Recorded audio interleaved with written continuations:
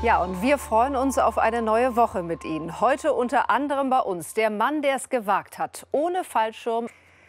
Aber wir starten mit einem Aufruf der Polizei. Möglicherweise können Sie helfen, ein Verbrechen aufzuklären. Es geht um diese Frau aus dem Kreis Osnabrück und die Frage, wer hat sie zuletzt gesehen? Sie verschwand im Februar diesen Jahres und wurde jetzt tot aufgefunden. Und inzwischen geht man von einem Verbrechen aus.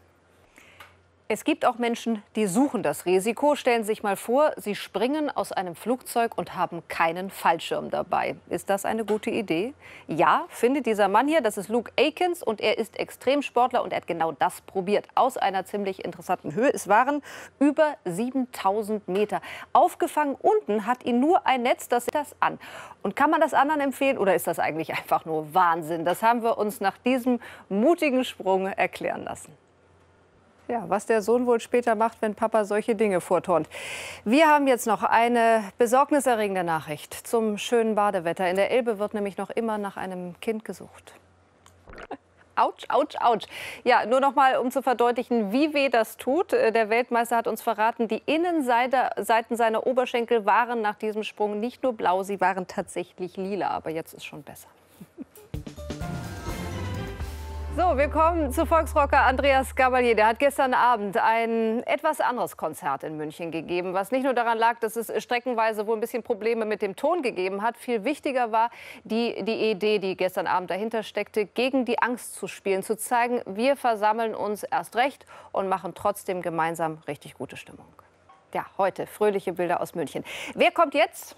Genau, er hätte gerne auch Wetten das moderiert, aber man hat ihn leider nicht gefragt. Hat sich ja nun erledigt. Axel Milberg, den viele aus dem Tatort kennen und lieben, der wird heute 60 Jahre alt. Äh, und dieser Mann funktioniert nicht nur übers Bild, sondern auch über die Ohren. Er ist auch ein fantastischer Synchronsprecher.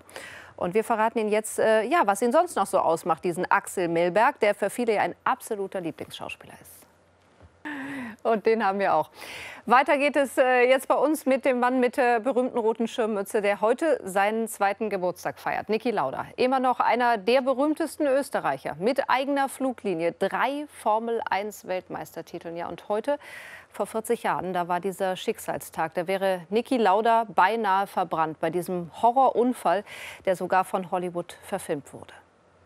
Ja, gerade ganz erfolgreiche und übrigens sehr nette Jungs und das geht sicherlich so weiter.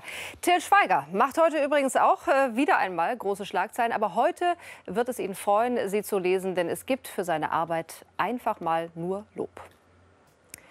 Harry Potter-Fans sind gerade vollkommen aus dem Häuschen und kampieren wieder einmal nachts vor Bücherläden. Und das liegt an der Autorin J.K. Rowling, die ja eigentlich gesagt hatte, die Geschichte um den kleinen Zauberschüler, die sei auserzählt. Aber jetzt hat sie doch noch mal was geschrieben und Millionen Fans damit glücklich gemacht. Und das Spannende ist, Harry Potter ist inzwischen erwachsen und fest vergeben.